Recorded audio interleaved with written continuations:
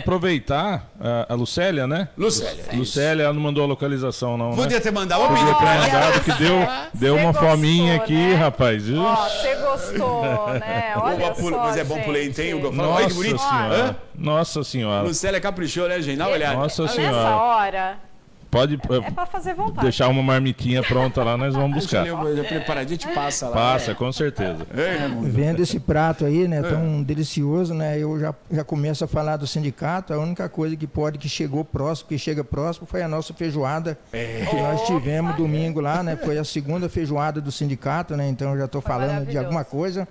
Então foi um sucesso, né, o clube, o salão cheio, não sobrou mais mesa, acabou, então foi, esgotou todas as mesas, tudo, então foi mais uma vez, foi bem aceito e conforme o Juca já, já anunciou lá nesse domingo, Ah, já tem a beleza. terceira, logo, Já vem a logo terceira. Nós, nós vamos ter a terceira.